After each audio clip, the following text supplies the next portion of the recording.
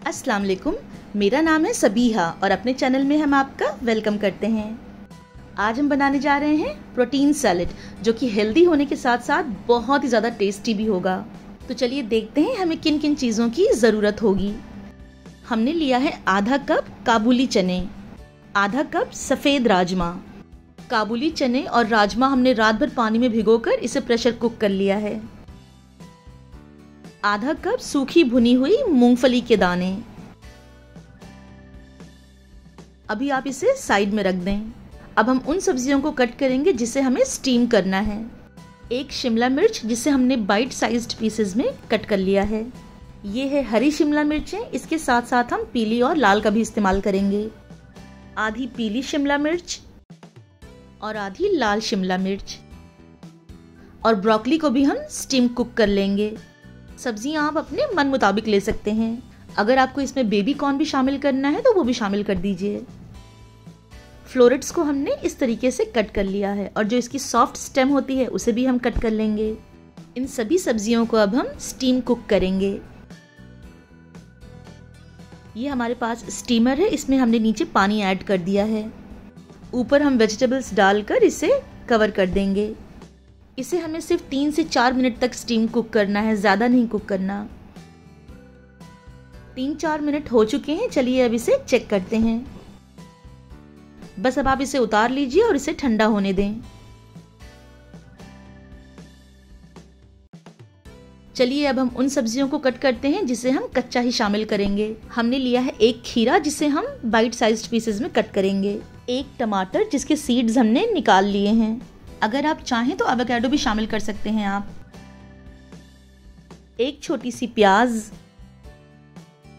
ताज़ी ताज़ी धनिया की पत्तियाँ, दो से तीन लहसुन की कलियाँ बिल्कुल बारीक कुटी हुई, एक हरी मिर्च बिल्कुल बारीक कटी हुई, एक नींबू का रस। 100 ग्राम पनीर को हमने छोटे छोटे पीसेस में कट कर लिया है। अब इसे हम गर्म पानी में भिगा कर रख देंगे चार से पाँच मिनट के लिए। पाँच मिनट बाद हम पानी को डिस्कार्ड कर देंगे।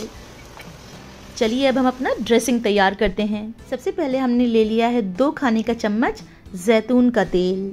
आप इसमें रिफाइंड ऑयल शामिल मत करिएगा, इसमें कोई भी सैलेड वाला तेल इस्तेमाल करिएगा। अब हम शामिल करेंगे हरी मिर्चें।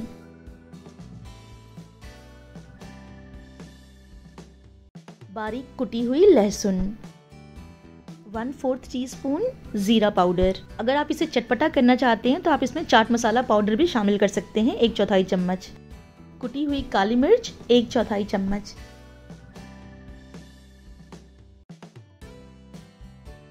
नमक जायके के मुताबिक। One fourth teaspoon mixed herbs एक नींबू का रस।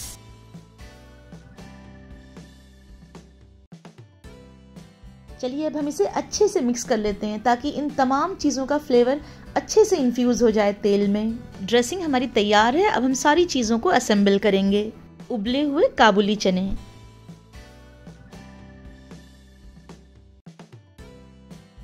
उबले हुए राजमा।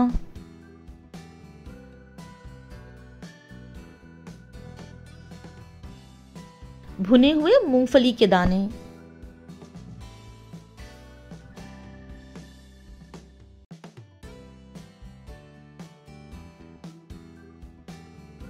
अब हम शामिल करेंगे सारी कच्ची सब्जियों को।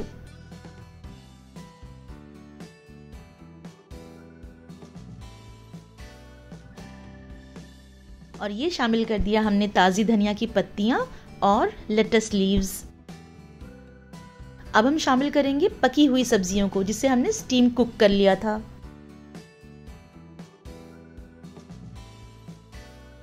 और आखिर में हम शामिल कर देंगे पनीर को भी।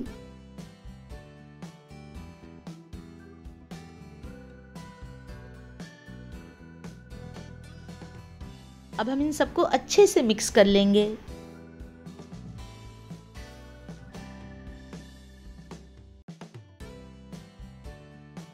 दोस्तों, अगर आप डाइटिंग पर हैं तो इस सैलेड को आप ज़रूर कंज्यूम करिए। रात में रेगुलर मील की जगह पर आप ये सैलेड शामिल कर सकते हैं। और अगर आप डाइटिंग पर नहीं भी हैं, तब भी आप इसे ऐसे ही इंजॉय कर सकते हैं बिना किसी वजह के। दोस्तों, इस रेसिपी को आप ज़रूर ट्राई करें। आई एम श्योर ये आपको बहुत पसंद आएगी। और हाँ अपना एक्सपीरियंस हमारे साथ ज़रूर शेयर करिएगा। अगर आपको मेरी रेसिपीज़ अच्छी लगे तो मेरी वीडियो को लाइक करें और ऐसी ही मज़ेदार रेसिपीज़ के लिए हमारे चैनल को सब्सक्राइब करें। मेरी वीडियो देखने का आप सबका बहुत बहुत शुक्रिया।